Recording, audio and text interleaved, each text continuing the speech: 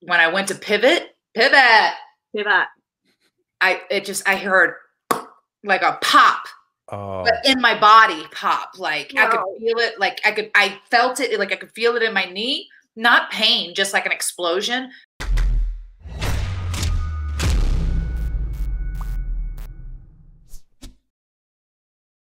Okay, now we're doing. I got two thirds of GAW TV here. Mickie James, SoCal Val. How are you guys? Very well. Thank you. Doing great. Yeah. We are all in like completely different parts of the world here, but through mm-hmm. technology, we're able to come together. I know. This is amazing. Yeah. And I Val, you're in Val's in the UK, right? Yes, SoCal Val, who's only lived in SoCal a couple years, calls Orlando, Florida home, is in England. You got to keep up, really. I just make no sense. My name, my name, makes no sense at all. Well, everyone just must assume you you live in SoCal because it's in your name. You know, they're mm, saying yeah. it all the time. Yeah, most people don't even know what SoCal is, which is even funnier. I've been announced as like SoCavia, like people don't, especially over here, it's not a thing to say the word SoCal. So that usually it's Social Val. I have a mug that Simon gave me that says Social Val. Social Val. and Nick, you're in, it's very in uh, Tennessee, right?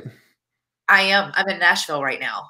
Very nice. And Nashville's yeah. like opening up quite a bit, I believe. Um, they have been. That doesn't mean I've not been as much. I've gone to, you know, I go to the gym, but you have to, you know, wear the mask and stuff in the gym. But um, Virginia, I'm still back in Virginia and Nashville. So it's like, it's it's funny because one week I'll be in Virginia and everything's still like I think they just started to reopen. I think the gyms just opened today in wow. Richmond, which the gyms here in Nashville had opened a couple weeks ago, but you had to wear the masks and everything in. But I think last week they actually opened to where it's just suggested that you wear the mask. Oh. Wow. Well, you're extra cautious being a mom, right? For sure, for sure. Well, not, and not just being a mom. I was like, I said this on a Instagram live I did the other day. It's more about, you know, my mom who gets like asthma and bronchitis certain times of the year, and she's just got allergies and stuff. And then my grandma who also you know she smoked forever and she's 77 years old and she's feeble and so if she was to catch this thing it would be the end of her in that sense you know i really i would i hate to say that but like that's because that's what this virus really like jumps on and that's who's been the most affected on that side but so that's why i wear the mask the most you know I think right. me, Nick, Donovan, we'd all be okay. I don't want us to catch it because it's terrible, but we'd be all right. Whereas other people who we would come in contact with would not be so fortunate, perhaps. So mm. I don't want to be that guy. Yeah. Well, I got it. Or God. Oh, God. I got to say, this is the first time I've had two guests on this streaming platform here. I'm so glad it's working here. You guys do this all the time, though. And uh, for people who don't know what GAW TV is, it's you two and Lisa Marie basically talking about whatever it is that you guys want to talk about. That's right. I have to give Mickie the credit for the name because we just thought it was so all encompassing of like what we're trying to kind of portray, you know, grown ass women.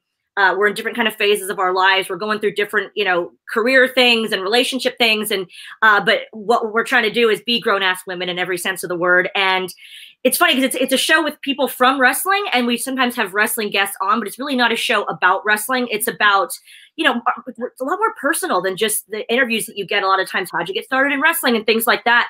It's a lot more about our current lives now, what we want to do, um, you know, with our lives. We have a lot of female fans that tune in because obviously wrestling is a very male dominated industry, which is fine, but it's kind of a place where you can come and have a slumber party with us, have a glass of wine or five. We're not going to hear judge, and we talk about life and love and we play silly games. We try to keep it very lighthearted.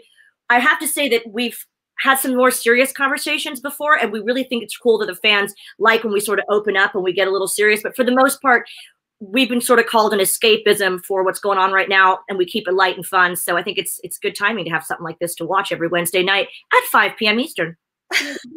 Bam! Bam! plug. Was this ever part of the plan, or did quarantine happen and you three went, you know what?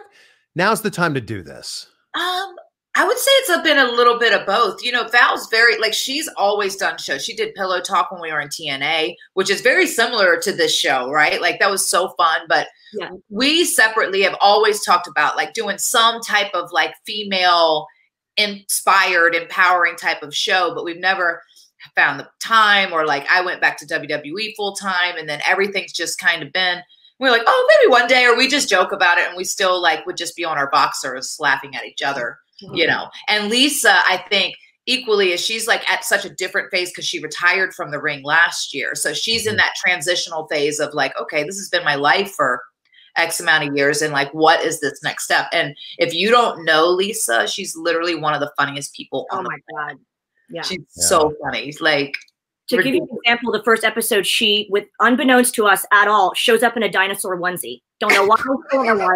She just decided to be Dinomania running wild, and she's so random and funny. And honestly, our voxes together were so funny anyway that it's just like that's exactly what you're getting is us, us off the cuff. And I always sort of describe it like if there was a signing or a, or a show that you went to, you would find Mickie, Lisa, and myself in our pajamas, drinking wine in our in our hotel room, cracking up and telling stories about exes and hilarious, horrible jobs we've had and whatever.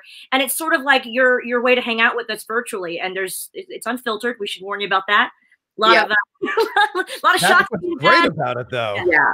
Yeah. Is it too early to pour a quarantini or to have a glass of wine here? It's never too early. I wish you would have told me. I mean, I'm drinking. Uh, it- it is. It is. It's not even noon yet. Well, here, We're 18 it was like 10 Something without wine. yeah. All right. Well, I'll, I- we'll have one after, and then when people You know what? watch We're gonna have they to talk to drink it. Alan about Alan's armbar. You know, our special GAW mixologist, Mhm.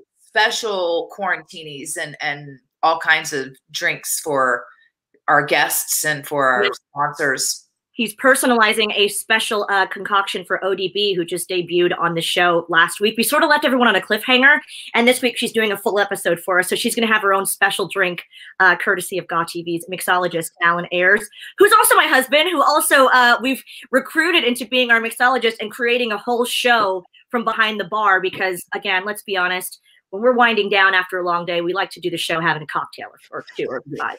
Or a couple. Yeah. So while this Everything- might be, he works for cheap, Chris. Yeah. I wouldn't believe it. so while this might be a product of the time that we're living in right now, product of quarantine, this is something you guys plan to do for you know a long time, even after this situation's over.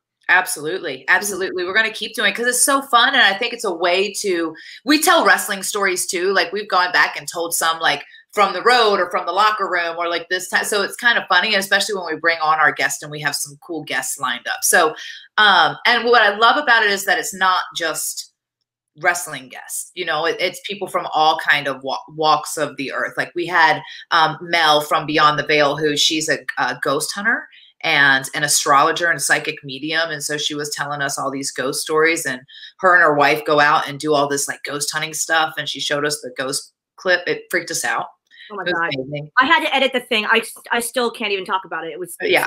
it was chris you could come on. You could be a grown-ass man on our show You- You have men on the show? we will have men on the show will. Well, We did wanna would be on. Sort of like no, seriously, you should come on because you. I mean, obviously, we, we'd have a ball. We'll get you a few quarantinis. Might make a personalized cocktail for you, Chris. But we did want to sort of establish the show with just us on it for the first few episodes. Okay, this Yeah. is what you can expect. Um, not every time we'll have a guest, but we slowly started to integrate some of our female friends, like Mickie said, even ones that are not involved in wrestling, and we're so pleased um, at the response to Mel, for example, because not everyone could be into paranormal or, or ghost hunting or astrology, but a lot of our fans and friends are. So she was a great guest to have on. Now we're slowly integrating more females because, you know, we do talk a lot about female empowerment and what it means to be a grown ass woman, but we certainly will have guys on the show. We have a laundry list of hilarious guys. I mean, just to rattle off some names Jay Lethal, Chavo Guerrero, Christopher Daniels, maybe Nick Aldis. I'm not sure we can afford him, but we can try. Oh, this he's pretty expensive. I know. I mean, we did promise him 0.0001 percent, but I Yeah. think that we gave that to one of our that or a portion of that one percent to one of the fans, Frank, I believe his cat or somebody's cat Mm-hmm. Mm, Frank's cat. to be, or was it? You know, I don't know, or was it his dog? I don't know. To be Bosley because It was someone more qualified. Let's put that. What podcast do you guys listen to that maybe you know would have inspired uh, grown ass women? I listened to a few. Sorry to answer first, Mickie. no, go ahead. From, um, That's the thing about this. I don't know how. I don't know. Should I direct my questions to you guys? No, no. we deal with it every single week because we're like we, we get so excited and we have so much to say that we're like oh sorry girl um yeah we uh we uh, some of us talked about liking podcasts or not being that into it before but the ones i have listened to are mostly from real housewives and rupaul's drag race so i love the, both of those shows and it's sort of women that i kind of uh think a lot of i mean you can laugh about Real Housewives all you want, but a lot of these women are self-made and are have thriving businesses and are really really smart ladies. Some who just like eating bonbons and throwing lavish birthday parties, which is fine. We don't judge. But the ones that I like, you know, like Heather Dubrow and Ramona Singer and Sonja Morgan and some of these ones that have, um, you know, made quite a name for themselves. And I find it inspiring to listen to them. So that's a few of the things I was listening to before Gaw TV was a thing. Yeah. Whereas I'm very much the opposite. I don't listen to a lot of podcasts. I always watch like a lot of these shows. Like I'm more of like a YouTube show watcher than mm-hmm. I am a podcast listener.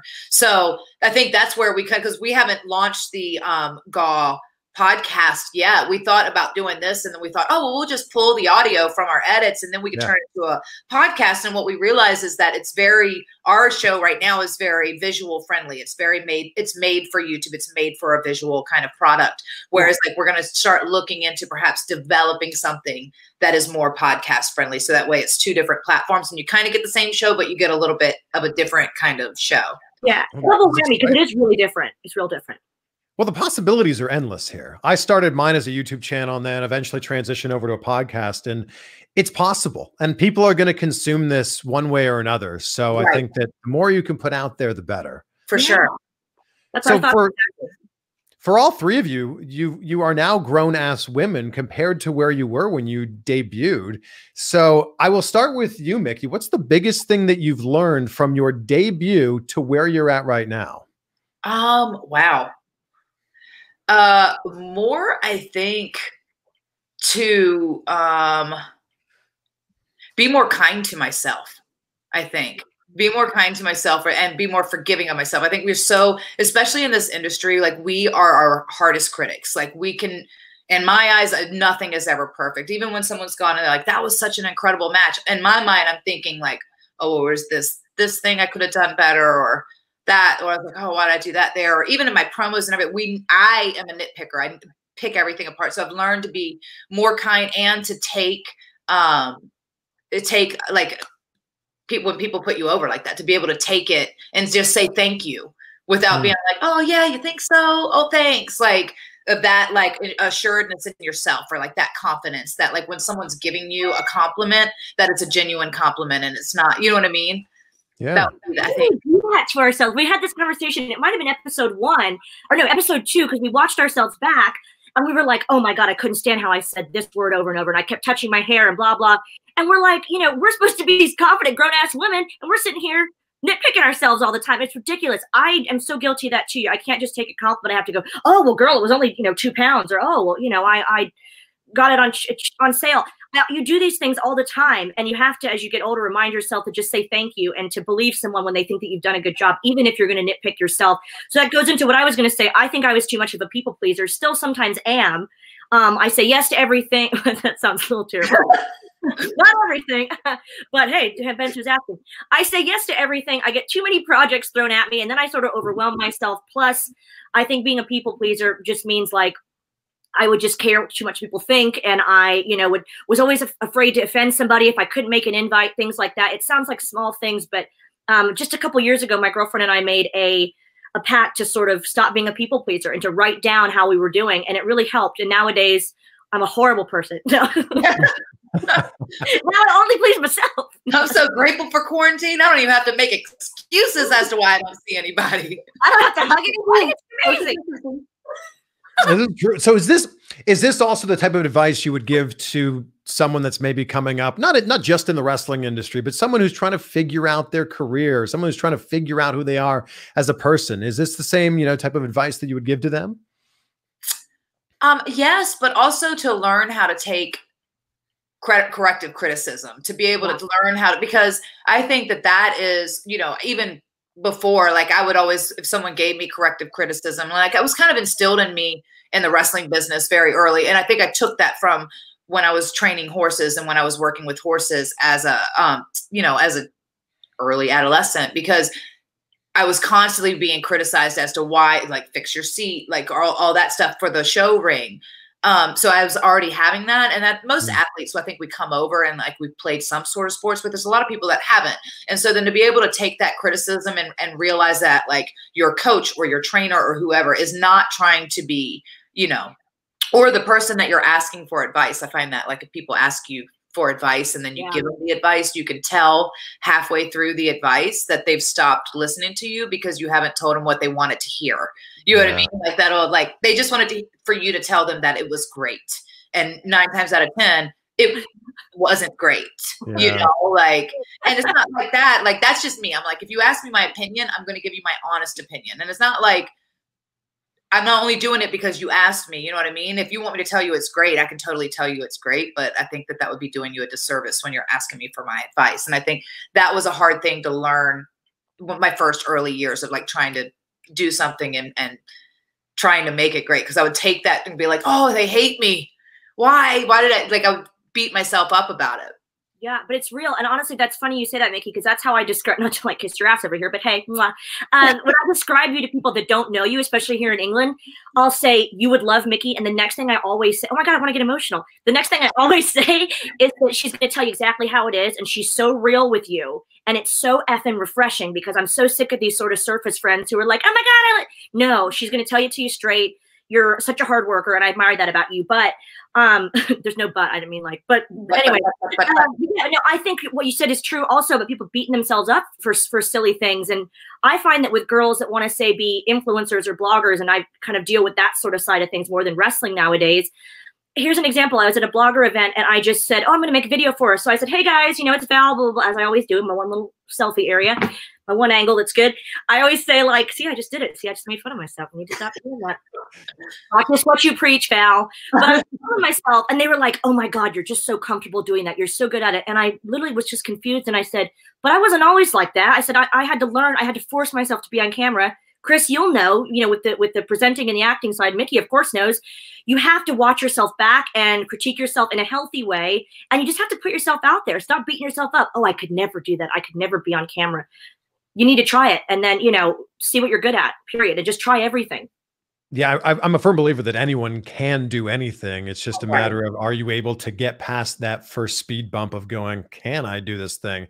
And for mm-hmm. someone that wants to be on camera, you just have to get used to being able to see yourself on Right. camera and going, yeah, you do that weird thing with your eyes, or your mouth makes that weird thing when you talk. Yes, that is you, and that's how everyone sees you. Yeah. Yeah, it's horrible. I told someone the other day about, oh, they said they hated their voice on a voicemail. And I said, I think I was, it was Wembley Stadium I walked into and they were playing a commercial that was like my voiceover. And I was like, oh dear God, it was the most horrible feeling. And this is like years and years in, but it's still, we still hate ourselves how we sound. It's horrible. Val, what is it that you're doing now? So um, obviously we have Gaw TV. I do um, a lot of stuff fashion related here in, in I would say in London. I'm in Milton Keynes, half hour north.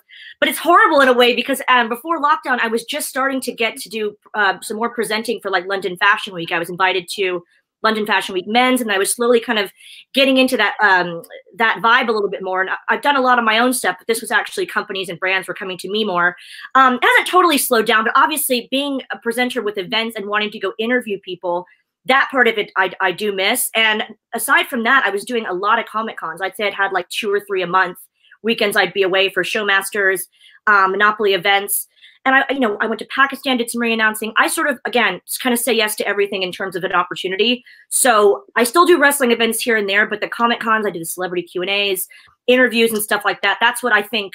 That's where I think my skills are the best. I love the modeling, I love the Patreon stuff like that. But to me, I would be re- really dissatisfied doing only that. So it's it's really the presenting that I like more than anything. And Mickey, we haven't seen you in a while. So I want to ask you, first of all, how is your knee doing? It's so good. It's actually really good. My knee's doing much better.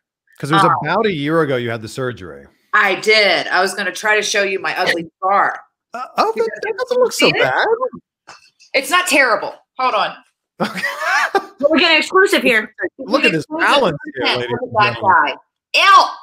And then it's got the little butterflies from where they went in and like they had to. Yeah, it's great. no, it's fine. Aside from that hideous scar. I know. I never showed you my scar before, Val. No, did Well, you? I know bonus it's not content for you, Chris. Just get those extra. We're gonna get five more clicks off that. I can't wait. Wow, that, that can be the thumbnail. Your knee. your, your knee, just right there in the center. I need you to put that in there. Ah, did you totally right. instantly know that something was wrong? Yes, instantly. Um, it was so crazy because it was just a regular match. It was a simple hold. It was like I was the heel. You know what I mean? I'm like, I got um, Carmella. I was, uh, you know, in a, I think I don't know, some type of cravat or something because we had been. It was literally like the last. We probably had like two more minutes left in this match. Like honestly, like it was that level, like getting ready to go home. I think. And she rolled me off from the hold, and there was like I just when I went to pivot, pivot, pivot. I it just I heard like a pop Oh. but in my body pop like i could feel it like i could i felt it like i could feel it in my knee not pain just like an explosion but it was literally a, a, a pop that i felt and heard in my head. It was crazy. And then i was like that was weird. I went to go stand up and i kind of buckled you know? And then i went to, i was like whoa and, and the referee's there um who was the ref was it spider who was the ref I knew I was, I knew I was super hot at him about because he stopped the match and I was so How dare he? that he stopped. How dare you? He did the right thing. He did the right thing because that's just me and my ego. I wanted to finish the match. I figured, okay, I could get through this. I know how tough I am. And so I, the first time I went to go, so I went to go stand up again, and it was just a little bit wobbly, and he just rung the bell, and I'm like, no. I just said you're a hard worker. That's taking it to a whole nother degree. Yeah. I was so pissed. I rolled out of the ring with my hands. They were like, oh God, I was fine. and paced myself. I walked myself back to the mat. Well, with a little limpy, but all the way back to the curtain because I was so devastated, so PO'd. Oh. But yeah, then come to find out, they thought I tore my meniscus at first. I've had the doc look at it. He goes, This hurt? No. This hurt? No. Did it hurt when you did it? Not really. What did it sound like? I'm like, A pop, like a pop. And he's like, Ooh. So You're used to hearing Yeah. pop in your match, but that's not the pop you want to hear. Know what I'm saying? I saying? live for the pop, but not that pop. No. So how how soon after that did you have surgery? Mm, that was the catchy thing. So, um, so then I had to fly to Nashville because I was going in the studio and going to do stuff that next week. So they just flew me in early, and I had the um, you know, the MRI done or whatever it was done on the knee. And then not even until I got back out into the car did the doc have the news back. So he told me like with a M with um like a torn meniscus, I'd probably be like six to eight weeks, what eight to six to nine weeks maybe out. And I was like, oh, that kind of sucks. But at that time, I'd already been transferred over to SmackDown. I hadn't debuted on TV on SmackDown after WrestleMania, you know, so I was just kind of sitting and waiting. And that was actually my first loop of house shows, which was the ironic thing. You know, Oh maybe it just wasn't meant to be me and SmackDown. Anyway, It's a rock show. It's us all the crazy. Yeah. So, but then I like, so I did it and then I got to the car and he's like, Oh, are you sitting down? I'm like, Well, yeah, kind of in my car. You know, he's like, So it's, you know, uh, it's not your meniscus, it's your whole ACL. And I'm like, I'm thinking, like, how is that even possible? Because I'm up walking around. I think Yeah. football players go down from an ACL thing and I see them buckle and like they're wincing in pain. Mine wasn't painful. It wasn't any of those things. So Thank it was a little, I'm so tough. You are. Like, I'm walking around with cowboy boots and heels and like, you know, clip clop, clip clop. More like a clip clop. Is this then a blessing in disguise because you get to be home with Donovan all the time? Yes, it was a blessing because honestly, it was, you know, being back on the road, it was, I was a lot away a lot. And Yeah. next year, this is the year that Donovan goes to school. He starts school this year full time. Um, well, I don't know how that's going to work out with all this, you know, Corona, but it was my last year really to be as much at home with him as possible until that starts. So that was kind of a blessing. But I had to wait like a month to get the surgery because I had all this. I had the I was opening for Big and Rich back home, like on the music side and stuff like that. And so I was like, I don't want I can't cancel this a month out. So I literally just like powered through it and then got the surgery right after it. And Val's right. So tough. Wow. I T U triple F tough. You were performing on stage with a torn ACL. Yeah, yeah. I don't know if they were um, happy with me about that, but it's okay. They seem to have forgiven me since then. 'Cause Permission. They they had like nine months to do so. Wow. So you're Yeah. good. You're you're ready to make I a am. return. I'm good. I'm ready. I'm honestly just waiting. You know, I it's you know it's the process of getting cleared is is a whole thing, and unfortunately, my clearance time came right in the midst of this whole outbreak. And I was actually in Florida. I was at the performance center training, working with um, with Tara, with everybody down there, just kind of see where I was at. I'd already done all my therapy leading up. I'd seen the doc. The doc had already cleared me, so I was literally just getting that like last two weeks to get cleared to come back to in ring action and all this stuff, and everything got shut down. And so I got, you know, I went home, and then I just haven't been back since. Which is fine because it's like, you know, like I said, it's like everybody's kind of got different levels of like what's what's handling, and I'm like, there's no need to take that risk of going there if I'm not doing anything, right? So yeah. I would rather bide my time and wait for the perfect opportunity. Perhaps another blessing in disguise, then. Perhaps, perhaps until I go in, I'm going to take all the championships, all of them. I'm going to be a single. I'm going to be my own tag team partner. Mm-hmm. And I'm going to go in there and I'm going to take that those championships first, and then I'm going to take both of the women's championships at the same time, so I can be, you know, beyond. I've I've already been claimed myself the Triple Crown champ a long time ago, so I just don't know. Quarant Corn Queen maybe or something. Ooh, I like that. Well, there was Becky. You would be you'd be Mickie. Like what? So it, Becky was Becky two belts when she had both belts. You'd be Mickie four belts. Right. So that's where I come with the core, core like yeah. Qua, some type of quad. Quad, quad didn't. Rolls right hmm. off the tongue. The quadruple core. That's gonna be so good. now, with all this, with all this talk about wrestling, was there ever, was there ever a time when you thought you'd want to get in the ring? No, actually, I'm allergic, and it's I. You know, I hate that. I heard it hurts a lot. I bruise like a peach in all seriousness, no. I there was like when I was you know 11 watching it, I kind of thought, oh, I might be a wrestler, but I didn't. Uh, you know, we've had this conversation so many times. I was a WWE Divas fan, and I loved the Divas matches, but I was like, oh my god, they're backstage in satin robes and they're fighting. Like this is great. Like I love the more. that side of things. I never. I thought I wanted, I wanted to do that. I wanted to like have the microphone and like be Stephanie McMahon, but I was not like I wanted to be Lita and like come in there and like kick ass. I was like, oh god, no. You know, yeah, you know. more of a Miss Elizabeth of sorts. Yeah, yeah. yeah. I didn't. I never minded, minded the idea of like playing the damsel in distress. And some people are like, oh, well, that's very like the opposite of progressive. And I'll be like, listen, I kind of liked it. There were there were both. There were some girls that were. That's what feminism is, isn't it? It's about choice. I choose to be kind of the more soap opera soap opera actress. I mean, hello on Impact Wrestling, all I did was cry all the time, but I loved it. And then there were more serious wrestlers too, like the Gail Kims and the Mickies and Lisas. I think it's cool to have all of those things uh, encompass wrestling. What, yeah. what you've done in your career, Val, is, is actually very rare. It's very rare to have someone who comes in and is a character on screen, but actually doesn't mix it up in the ring. Right. Yeah, and I always thought that was kind of more of my my thing. And I, I think the first girl I ever saw, other than even when I was watching wrestling, they had, you know, people like Maria and Torrie and girls like that doing the interviews, but they were wrestlers. I mean, they were kind of more divas and wrestlers. They wrestled quite a bit, um, you know. Um, but then there were people like Stephanie and and Trish. But see, even they wrestled quite a bit.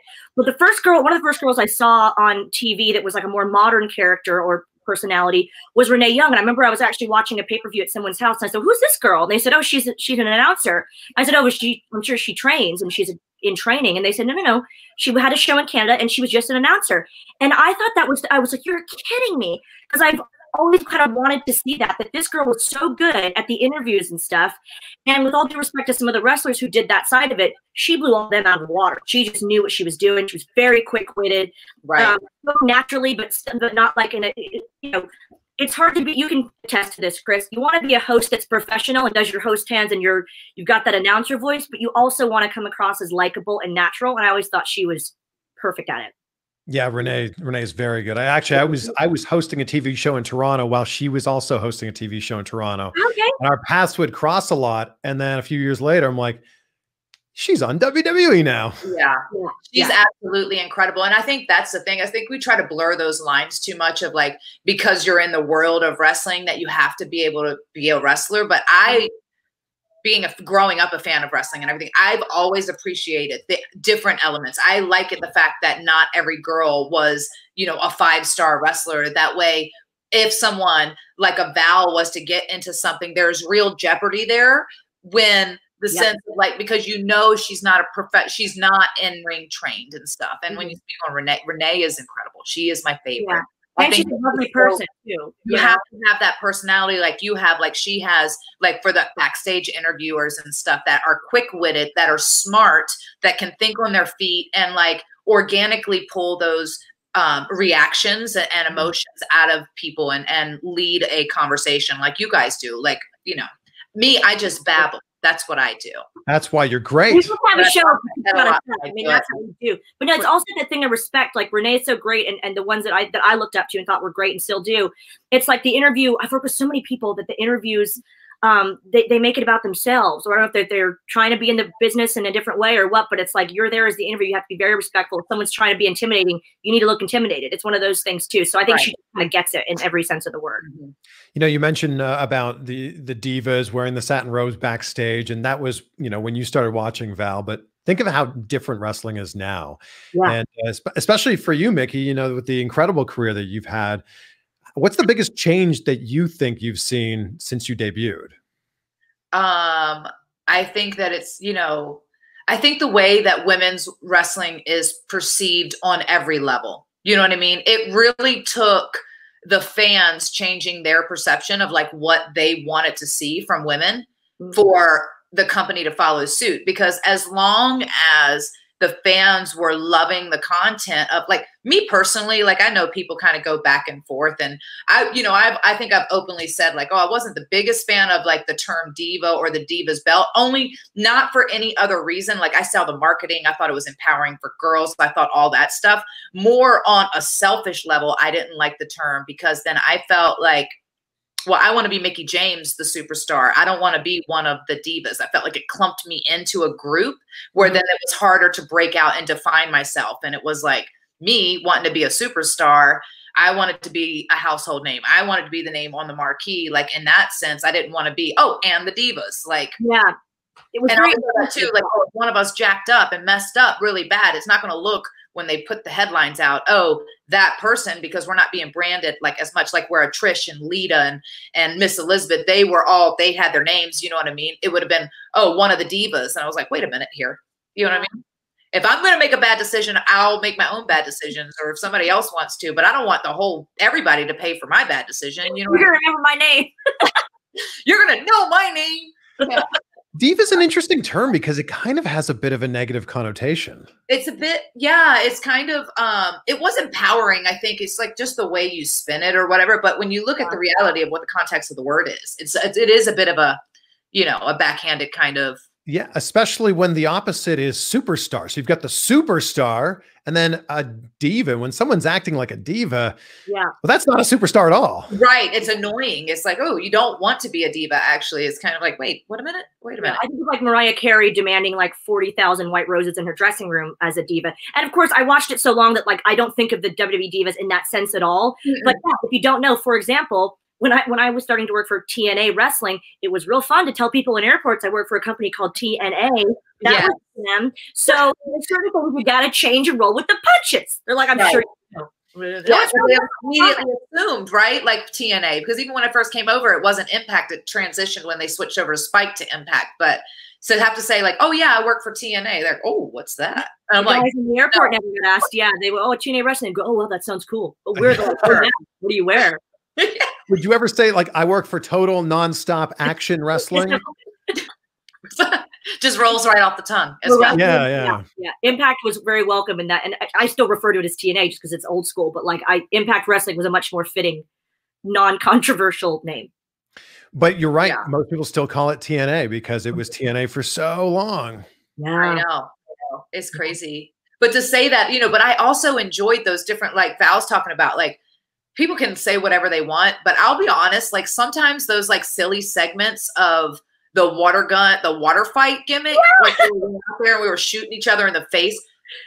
It was so for me, like people, oh, it's demoralizing and everything. Okay, so look, I know what I signed up for when I got into wrestling, and I was confident in myself enough to be okay being put in those situations and like I made sure I worked out so I felt good in those situations or whatever the case may be but in those moments of like i'm thinking like okay it takes time. It takes time to break down all these barriers right? Nothing ever happens overnight. So if i as a performer can change people's perception of what they expect from a woman's wrestler like mm-hmm. it's and then over time then hopefully this the whole perception will change. But if this is my opportunity to have 10 minutes on television shooting one of my friends in the face with a water gun i'm absolutely going to do it and i'm going to pump it as hard as i can we are gonna uh, have to introduce uh, um, uh, maybe an annual GAW TV Water Gun Mania paper. Mm. Now that I'd be interested in. No, in all seriousness, she's not kidding. Like, I mean, this is why feminism is about choice and because she enjoyed doing those segments if we were to meet a girl that came on the show that said i was in those segments with you and they made me feel very demoralized that's her choice but all we can speak for is ourselves and what we enjoy doing and watching and in my case aspiring to be i loved those photo shoots y'all did like the oh, they were so fun yeah. They don't do those anymore. Do you know that they fly us to these locations? Like, I'm like, oh, those were my favorite things doing the photo shoots. Are you yeah. kidding? Yes, please take me to an island where I can just like be bougie and hang out and order room service and go take go get my mar- my makeup makeup go get my makeup and my hair done and go out on the beach and look like a, a princess as you guys are like taking my picture and then going to yeah. airbrush them and make me look even more amazing Thank you. And you're with your friends. It's it's yeah, with my friends, and I get a whole week there to hang out and just do me. Thank you. Yeah. Well, Nikki and Lisa and I have talked about it, and we are not kidding around. As soon as lockdown's over, we want to plan some sort of a, li- a live GAW TV trip that might include, you know, maybe not bikini photo shoots, depending on how we feel, but you know, maybe a themed somewhere. We've talked about going to Vegas, recording some stuff on the road, doing meet and greets with the fans, and sort of bringing it back to again a lighthearted, sort of fun place where we're allowed to be glam and silly and then you know you know at least it's going to bust out some sort of kitty cat onesie or something at night with everybody on stage you know it. So this is the kind of fluff pun intended or fluff that we sort of think wrestling could use a little bit more of. Why not?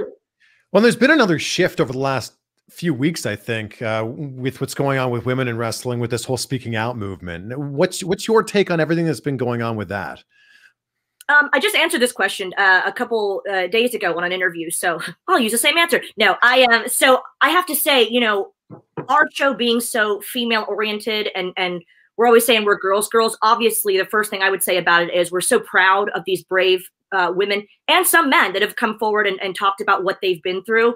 There's always going to be a few bad apples where it's whether it's a you know someone not understanding the movement or not supporting the movement um, but it's it's the same thing with any sort of movement that makes uh, a lot of people feel better about coming out with their story. You have to respect that and you have to um, show solidarity with the people that, that have been through a lot of stuff. Um, i don't know anyone who in their right mind would ever think that this movement wasn't a good thing. All I can say is that I hope that it not only exposes a lot of the abusers, but that it makes the female um, side of wrestling kind of band together, so it doesn't happen to anyone else ever again. That's that's the that's got to be the end goal here. So what we've been trying to do is figure out a way to um, make it accessible for for anyone, men or women, um, that are have been in these situations to get help, to get legal representation, things like that. Kelly Klein, I just saw posted the other day. Um, some numbers and information and hotlines for people to reach out to. So if you were one of the ones that, thank goodness, I have not been involved in anything like that, all I can do is stand back and support everybody and try to make sure that there's resources to make sure it never happens again. Yeah. It's it's tough. It's so hard and it's so ugly and and my heart bleeds for everyone. You know, I am I am already an advocate for child help for child abuse and I've gone to Capitol Hill to like try to change some of these laws just on that side of it. So it's really awful to see and I think I've been very blessed because I surrounded myself with some really amazing people and I was protected. I, when I say, "Oh, were my trainers hard on me?" Yes, because I wanted them to be hard on me because I want it to be the best. This business isn't for everybody on that aspect, but we're talking about you know sexual assault and stuff like that is something that really just it, it really hits me hard because it just there's so many things that um that even judicially are like so jacked up about it as far as all that stuff. So i just pray that like everyone who is like all these people who are real real predators real assailants and i'm not talking about like trainers who are too hard on you or whatever like that that's neither here or there but i'm like that like or if it's been rape or anything like that like we need to weed people like that out because this you know the thing is is like i feel like this is perhaps something i mean if people knew what went on in japan you know with like young boys and stuff i think that that it would be astounding. Like it's you know that's and that's culturally bred in the wrestling business in the fabrics of the culture you know what i mean? This business if you go back to the test like the way back it's like it was a circus act it was like literally we they went town to town as a circus in these territories and so at that time I think a lot more, you know, if, if we were to be real, you know, really think about it, there's probably been a fair, like a lot of men, a lot more men who would never come forward because it would deplete their masculinity in a mm-hmm. sense that would come forward in some of these same similar situations.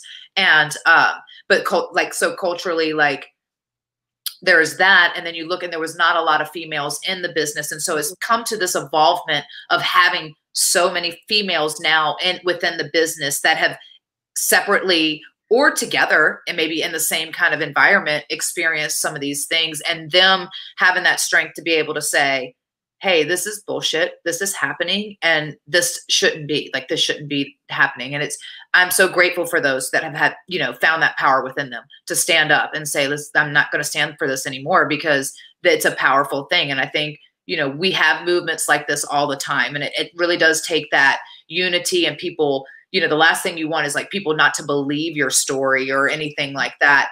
But you know i think there's a lot of parallels too because people then go like some people are going like there's no way all these things are true you know what i mean yeah. or there's some like when val says it's like okay so when i think about this and this is maybe because this is the part that personally like affects me is the sexual part so that when and i hear oh my trainer was too hard on me speaking out i'm going it's not Wait, the same. Yeah, it's not the same. It's thing. not. That's, That's the same, no. Don't model the hashtag with, with I'm like, please don't don't use this platform to do like I get that and that sucks that if you think your trainer's too hard on you, then maybe transfer your schools or whatever the case may be.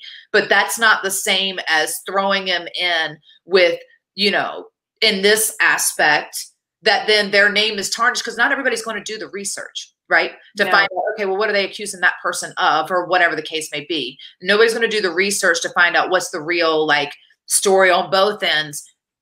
And, and we live in a society that is so quick to like just jump on the internet and just hurl all not just accusations, but hurl then um just like these insults and just completely destroy somebody without doing any real journalism without doing any real reporting and basing your opinion you know as facts and like reporting your opinion as facts mm-hmm. and it's so like so it can be completely damaging if it turns out to be untrue which you know I never want to say that anybody's ever like, but you have to think like in a real sense. And then the damage that that does is for someone who's gone to Capitol Hill to do do all this, like it waters down the message to where people stop taking it seriously or they think, oh, they're just being a bunch of wimps or whatever. And it's like, no, no, no, no, this is different. It's like, that this is a real thing, you know what I mean? And so you have to be cognizant of what you're putting out there and what you're doing. And the fact that people's, by the time people, if someone is proven innocent,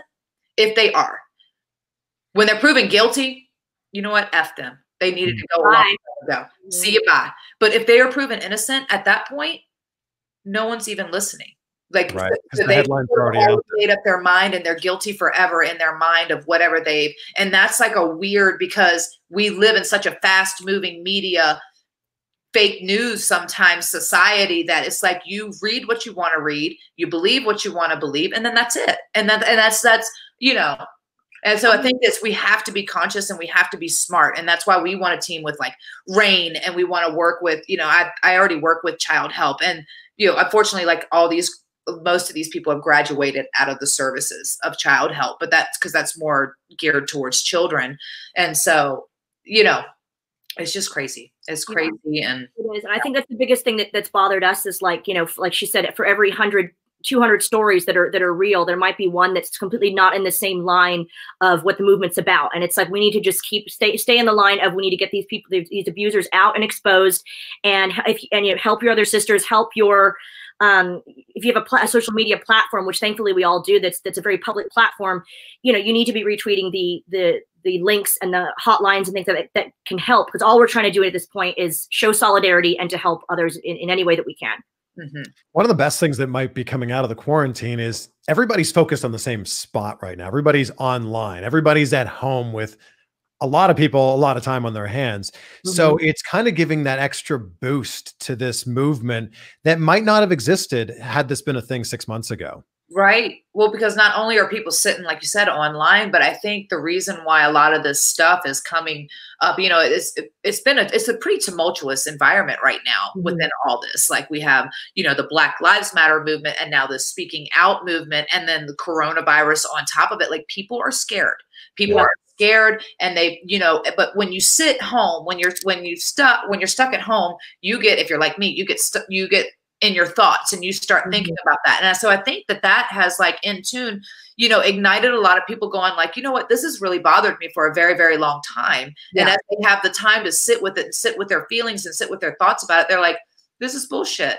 I'm Yeah. not gonna, you know what I mean? I don't need to sit here because who's to say how the wrestling business, the landscape, especially on like an independent level, which where a lot of these stories are coming from, is going to look like coming out of here. Like I I don't know if we're going to see like live wrestling shows, like on a sense of like touring wrestling for another year. Like I really don't know. I don't know how that's going to look. So change. Yeah. is it affecting their business in that sense? Like it, when you think about like a lot of times when you say a lot of these girls like, oh, I don't, I may not get booked or I may not do this or it's going to affect my reputation. They don't have to worry about that because who's to say what this is going to look like anyway? So why not? Like that's a perfect time to go like, you know, Yeah. hell to the no. Hail to the no. And everything's going virtual now. I just did a Wizard World virtual Comic Con. So me talking earlier about going to Comic Cons. Yes, I enjoy going, but to have uh, a job where it's like you know you're I go to events that are huge, and you know you do a Q and A, and there's like thousands of people out there. That probably can't happen anymore, at least not anytime soon. So that's why it is best to be home and educate yourself and, and learn new skills and to do things that can you know help you in other areas. Because I think a lot of what we're used to is going to change. Traveling, everything. Yeah. Mhm.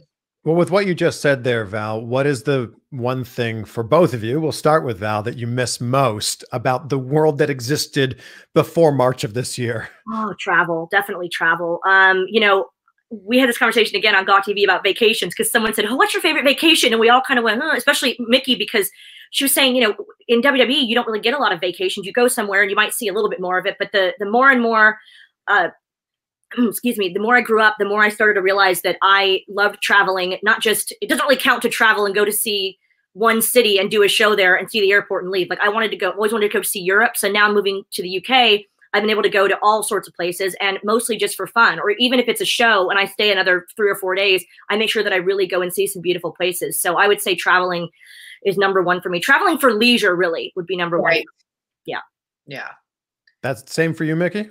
Um, I miss traveling, but traveling like in real time, like traveling without that fear. I went to the, I had to travel the other day, and obviously, you know, I'm got my hand sanitizer, I got my mask on. I'm like, but then you see different, but all the stores are closed, all the restaurants are closed. The only thing that you can go is to like that little Hudson News thing and get like maybe a to-go sandwich the airport the airlines are not serving any food like or and even like east to west coast flight i think i had to take a east to west coast flight for Shad's funeral and they literally gave me like a little brown baggie like a packed lunch with like a baby water bottle in it and some nuts and Cheez-Its and that's what i got for my For the whole flight. flight over so thankfully i'm smart so i'd eaten but it's like that like real like I enjoy like that first class treatment. I enjoy going to the airport and perusing the shops and I don't care if it's overpriced, you know. I, oh, I find a really sweet pair of sunglasses that are on sale but that are not on sale. You know what I mean?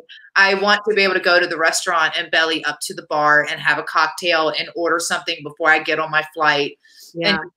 and none of that Re- real travel and like even hotels like right now like this i had to check into a hotel and they go well we we're not we don't service your room the whole Oh, time you're there. Oh, so if you need anything just come down let us know call us up come down to the front desk we'll have it waiting on you. So if i needed towels or coffee or anything like that and as far as trash i just had just left it outside the little baggies you know the laundry bag wow. and put leave it outside the room and i'm like this was a four day stay so i'm like yeah. literally quarantined myself in my room the, the fitness center and everything's not open and it's just like that whole thing of like being able to live your a life Yeah.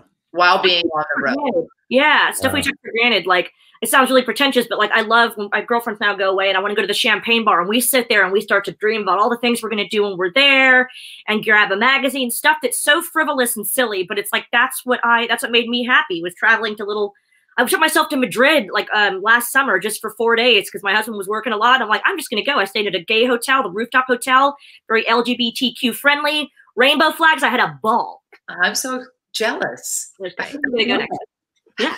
When you when you guys do signings or you're interacting with a lot of fans, I'm very curious to know what the one question that always comes up no matter where you are. And Mickie, what is it for you?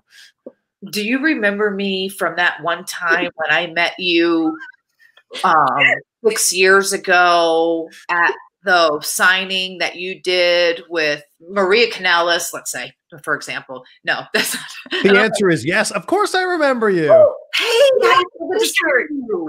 Yeah. Good to see you. Uh, no, um, it's True. I do get you do get asked that question a lot of like do you the do you remember and then you feel like such a heel because you probably don't remember. I mean, there's friends that there's like stories that my friends tell me. They're like, oh, do you remember that time when we all did this, that, and the third? And I'm like, not really. And they'll have to go more into detail, and I'm like, oh yeah, I do remember that. So yeah, um, favorite feud of all time, favorite match of all time. Those those are very you know typical. Those are the In, typical, in the four seconds that you have as you sign the autograph, take a picture, and they walk away. right. Yeah. It's, Yeah. it's so hard because you get rushed through. We always say like we remember those signings and they the boys hated us in those like when we'd have to do those long VIP signings where it was all of us sitting at a table because we're yappers and Mhm. fans obviously want to have that conversation with you and they like are totally they're trying to they'll go into like and you're like mm-hmm, and you know that they're like there's a huge queue behind them and that the the security is like okay y'all you know Yeah. we're just yeah Bit of it. I, I tend to get not all the time, at least at least once a day per Comic Con or whatever. Um, and now, thankfully, I'm kind not thankfully, but I don't usually sign as much as I'm out actually working, which I find a lot more like stimulating and fun. I feel like I'm actually doing something. There's people like so you have all your photos in front of you, right? At least once a day, if not more than once, somebody will go, "Is this is this you?" yes, I'm sitting here. I have red hair. Who do you think it is? To answer it, and then. Uh, so, oh, okay. Because you know they don't know wrestling, but it doesn't matter. Like I would never go up to someone's table and go, "Oh, is this you? Who's this?" who's this Wow. All the time. Have you guys ever been mistaken for someone else, or who is the celebrity that you do get mistaken for? Oh gosh. In wrestling, I would say that I have had I and I've gotten super hot at it. Like I think it's pretty much any female with brown hair, Nikki Bella and Maria Kanellis were the were the two go tos of like Maria, and I'm like I'm not Maria. No, Yeah. Maria. Look at No offense, Maria, I love you, but I'm not you. Just like it was that's so annoying. Melina. Every yeah, everyone with the same color hair. And sometimes I think people think if you're not in a wrestling setting, they just know that you're from wrestling and you must be so and so. Um, I've gotten like you know Maria before, redhead. I've gotten Dixie many times, which I always thought was hysterical. My she didn't have red hair. what? to each their own. Glasses are a thing, look them up. But um, I'm laughing because I was at a signing, and um, I'm just going to start the story like this, make it real interesting. I have no judgment if you like pornography. That's cool. I fit, I think it's perfectly healthy. Don't mind. Uh-oh. Don't hate it myself. Anywho, we're not taping this, right? I was a girl. I was sitting next to uh, Gianna Michaels, who I didn't know I was on the signing with only girls from the adult film industry. And while I think that's fine that they do signings, and they were actually very nice girls, I was a little annoyed because I just thought people are going to think that this is what I do, and it's just not correct. And I just it would make it awkward, and so it did because it was a, a two girls. They're both blonde, and then the one girl who was supposed to be there couldn't make it. Not only was she a redhead, she lived in England, and we looked so similar that I couldn't even be mad at people because I was like, if I was sitting here, I'm sitting right next to where she should have been, and on the flyer we looked like the same person. Wow. Her name was I so would have just played the role, you know, signed your name up and you could have gotten double, you know. Yeah. Sorry, what was her name? Sophie something. I don't know what the last name is. I'm- she- I'm sure she Everyone was in the comments will be telling you exactly what her name was. Yeah, I'm sure. we'll know, No, but- but this movie, no, sir, that was not me. And how would you recognize me in this position? Because that sounds like a very adult film, sir. precarious situation. Mickie, I had Nick on the show uh, earlier this year, and he told the story of how you guys met.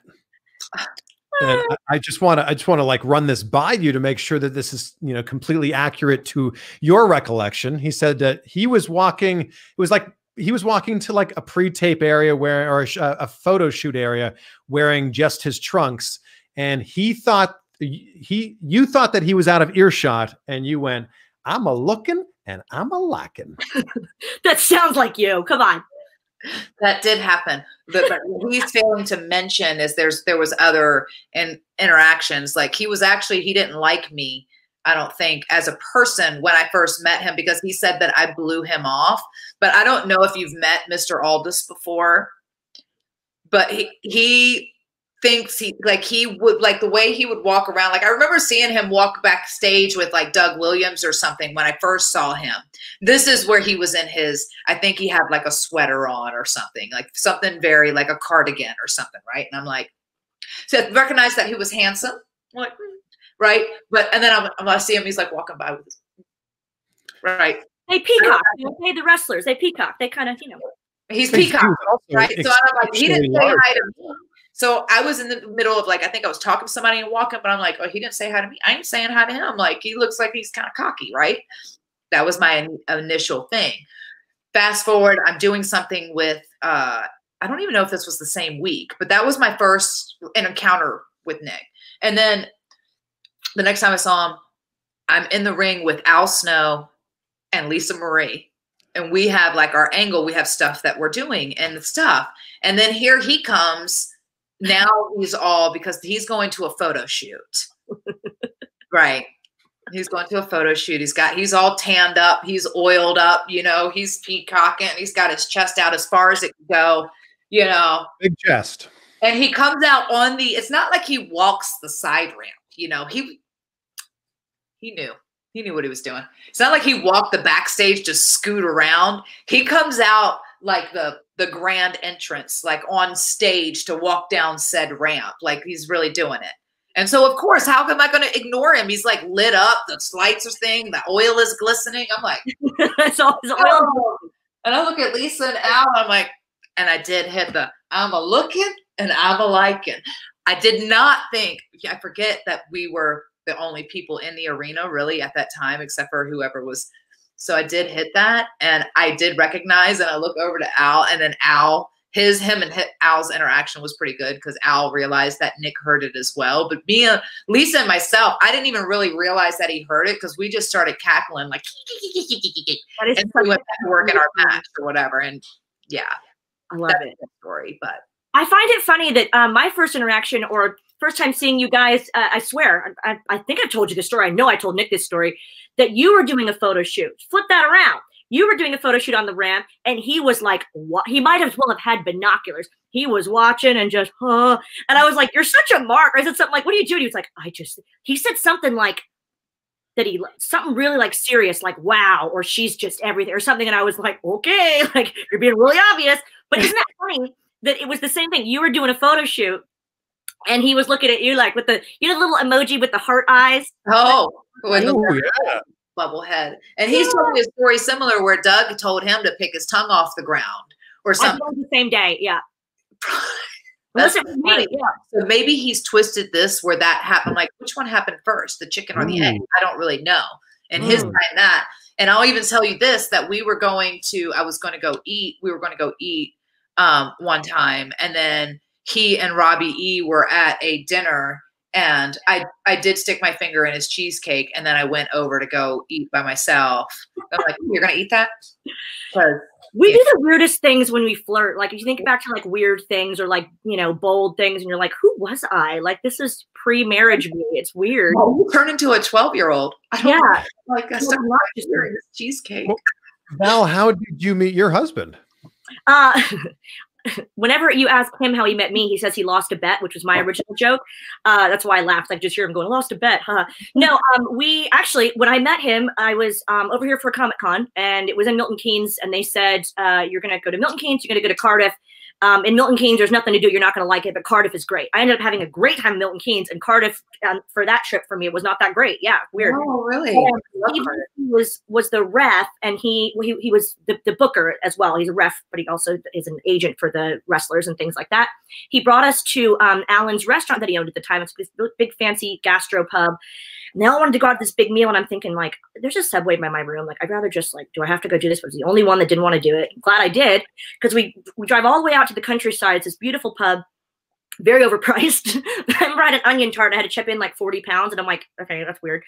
So the whole night I'm kind of like blah, but he was there. I don't think I knew initially he was one of the owners, but he was ta- talking to us and just being real. And just I saw how he treated people all night. It was just lovely. Um, he came came to hang out with us the next night because he knew Linsky. Um, he knew MVP, who had previously been in the restaurant as well, because Linsky always took the wrestlers to this restaurant. And yeah, we started hanging out. I, I then visited England uh, a few months later because my sister lives in London, still does. And we just started a little courtship. And then months after we had a kiss, I had to force myself on him. It's a long story. he was kiss him. Uh, five months went five months went by. We talked on Skype and the phone every day for like five months. Had our first official date, and I said to my mom, either this is the rest of my life, or I've really misconstrued this.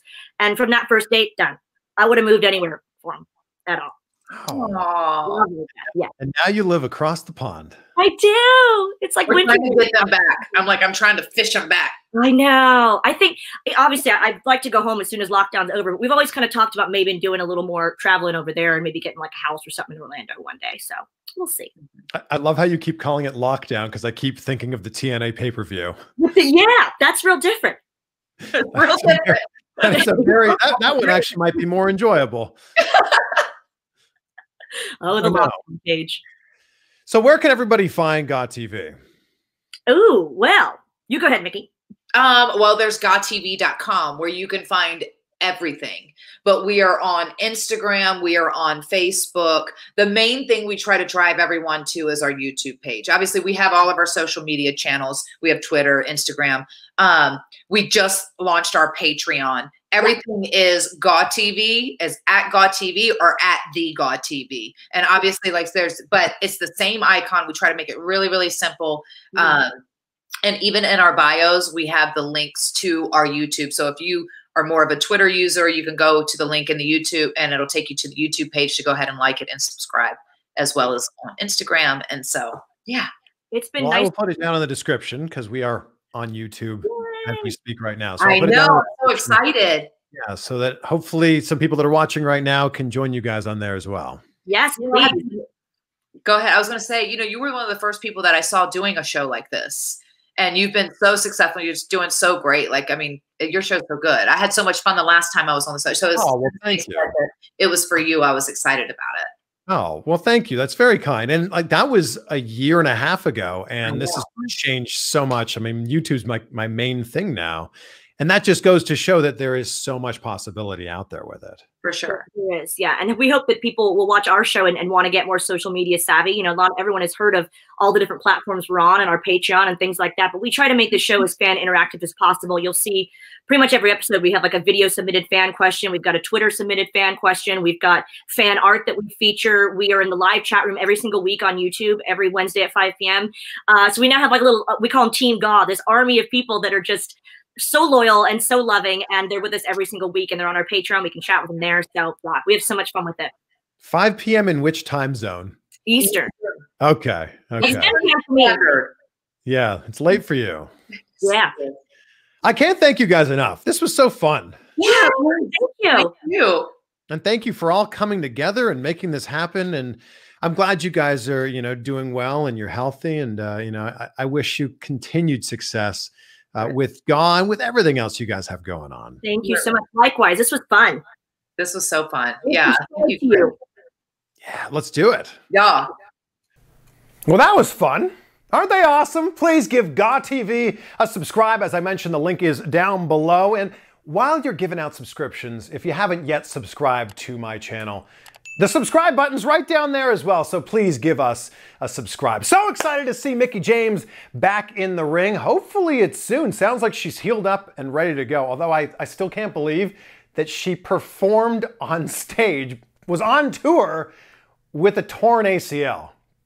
That's crazy. She is tough, spelled T U triple F, tough. crazy.